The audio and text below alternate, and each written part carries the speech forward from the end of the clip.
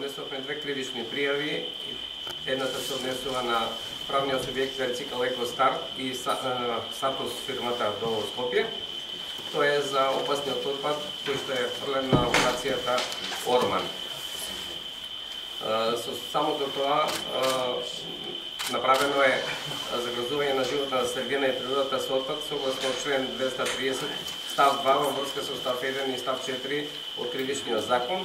Фирмата е задолжена да направи и протокол за безбедно враќање на опасниот отпад на посочената локација во општина Чучер Сандево.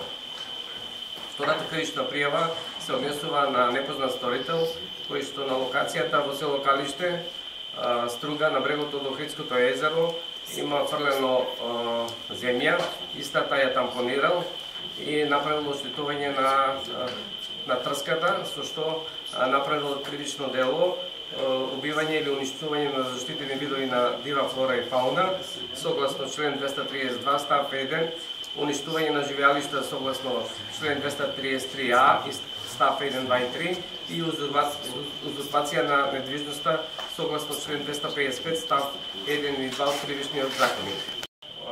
Јавното обвинителство во Струга.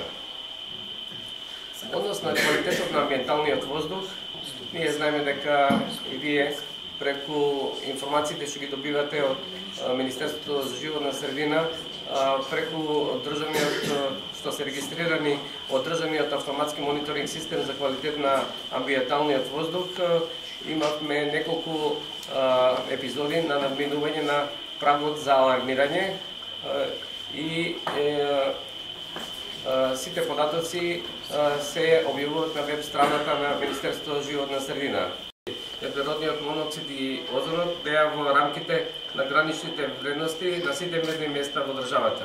Дорека суспендираните честички со димензии до 10 микрометри микрометри биле над рамките на граничните граничните вредности во повеќе мерни места.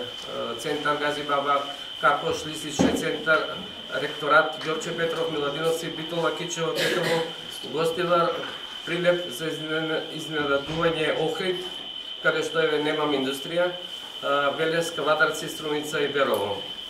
Да ги вработиме, како и за другите институции, за кои што е во тек вработувањето на, на оние што се на договор на дело старосната структура Ова е посебно интересно.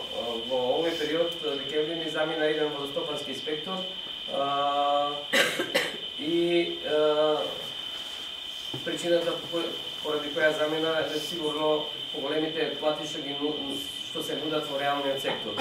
Можете да замислите ако еден главен водостопански инспектор кој што има плата од 1000 евра ја напушта институцијата, тоа укажува дека дека различни кадри од э, градежниот сектор.